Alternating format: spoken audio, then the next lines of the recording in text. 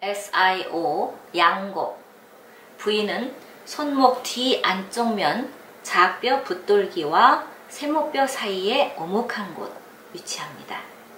친구법으로서는 직자로서 0.2에서 0.4촌 자입을 합니다.